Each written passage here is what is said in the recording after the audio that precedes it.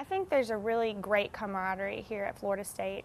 You definitely hear those stories of going into law school, pages being stolen out of books. And, you know, when I came and visited, everybody said, well, that doesn't happen here. And I kind of thought, yeah, right, that happens everywhere, you know, and it, it really doesn't. I mean, I couldn't uh, stress that enough. It, I've made some amazing friends here and people from all over the country, both in state and out of state students. And I feel like um, everyone's very helpful. I mean, everyone's willing if you if you have to miss a class, if you're sick or something.